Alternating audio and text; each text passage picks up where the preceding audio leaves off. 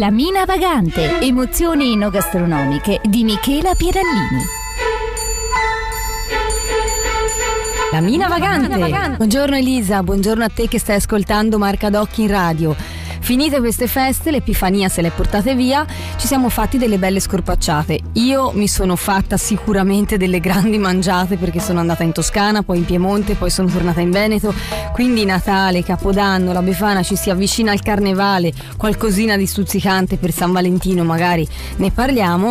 Direi che ci sta anche una pausa rinfrescante parlare di qualcosa di più leggero e fragrante. Eh, emozioni enogastronomiche della mina vagante si chiama questa rubrica. E quali emozioni possono arrivare? Eh, solitamente dal vino, dai piatti cucinati, elaborati, ma anche dalla nascita di qualcosa, dalla nascita di un germoglio, di una pianta. Ecco allora che oggi ti voglio raccontare, anzi più che raccontare ti voglio parlare del germoglio, dei germogli che possiamo fare in casa, che sono salutari, ricchi di cose utili per noi, per l'organismo facili, immediati, emozionanti perché vedi proprio il seme che si apre, che, che, si apre alla vita, che germoglia, che mette sulle foglioline, è una cosa molto bella anche per i bambini. Chi ne ha a casa sicuramente potrà farli giocare in modo sano, naturale e costruttivo.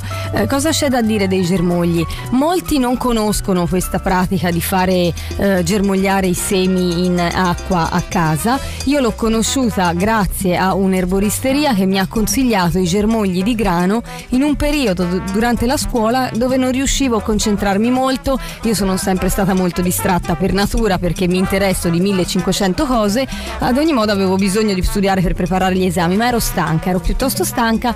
E sapete che sai che la chimica non è una cosa che io amo, perciò invece di andare in farmacia mi rivolgo all'erboristeria e questo er-, signore mi aveva consigliato i germogli di grano. In realtà non si trovano freschi già pronti, gli unici germogli che siamo abituati a incontrare eh, sulle tavole, sì, sui banchi del supermercato, solitamente sono i germogli di soia, sono quelli più frequenti e pochi, veramente molto pochi fruttivendoli tengono qualche germoglio di crescione, qualche cosa di più particolare.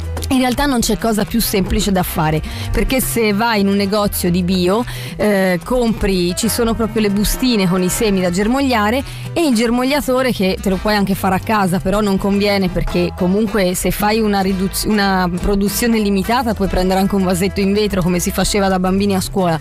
Io ho comprato il germogliatore a tre piani perché mi piace fare su un piano un tipo di se- su ogni piano un tipo di seme diverso e io adoro per esempio il fagiolo mungo che è la soia verde verde e ce ne sono molti altri come il ravanello, il crescione, l'alfalfa che è praticamente l'erba medica. E insomma ci si può sbizzarrire ho anche germogliato i semi di girasole che sono croccanti, grandi. Eh, ora mi sto dilungando su questo perché è la cosa che mi emoziona di più il fatto che in tre giorni immaginati se, cioè prendere proprio dei semini lasciarli a bagno una notte perché così si idratano il giorno dopo metterli in questo germogliatore tenerli umidi e lavarli lavarli ogni giorno due o tre volte sotto l'acqua corrente, ma il germogliatore è già predisposto per metterlo sotto il rubinetto in modo da togliere eventuali muffe e se se ne formano è da tenerli bagnati. Nell'arco della giornata si vede già il seme che si apre e comincia a uscire fuori questo germoglio. Dopodiché in due tre giorni, al massimo quattro, dipende anche dalla temperatura e dal clima della casa, cominciano a uscire delle foglioline, il gambo si allunga, questi germogli hanno una forza incredibile. Un giorno io li ho lasciati in casa qui eh, a Conegliano, sono andata giù in Toscana per il weekend e quando sono tornata avevano addirittura scoperchiato il germogliatore perché loro crescono, crescono, cercano la luce, escono e tutti insieme hanno spinto via il coperchio del germogliatore. Ecco, questa per me è un'emozione, questa è la vita, è il germoglio che si apre alla vita, che si dà forza, che esce e e, e, e, fa la sua vita, hai capito?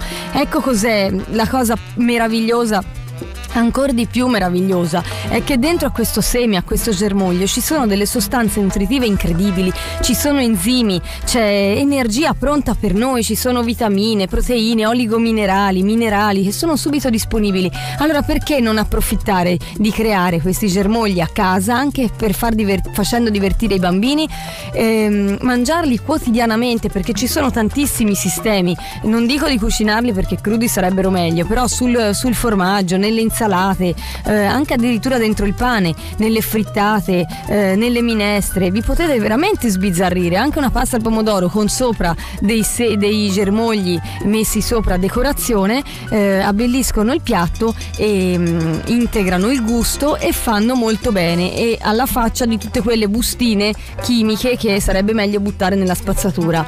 Ehm, spero di essere stata esaustiva. Sul, um, sulla mia pagina Facebook trovate tutte le informazioni e le fotografie sui germogli. Se siete curiosi sapete potete farmi le domande che volete. Io vi auguro buona salute fino a prossimo sabato. Oggi con um, un Valdobbiadene di OCG spumante superiore di Cartizze, ovviamente delle colture, l'azienda di Valdobbiadene eh, che mi affianca in questo percorso e, e ci regala sempre queste bollicine meravigliose. A me piace il termine bollicine perché mi dà l'idea di qualcosa di brioso, di frizzante, un po' come lo sono io. Um, ti auguro di passare un felice weekend se non è felice che almeno sia sereno e ti prego di informarti sui germogli perché sono veramente una cosa ben fatta. Grazie per essere stato eh, con me e a presto, ciao. Marcadocchi in radio vi ha presentato La Mina Vagante. Emozioni enogastronomiche di Michela Pierallini, in collaborazione con l'azienda Le Culture Vini Spumanti di Valdobbiadene.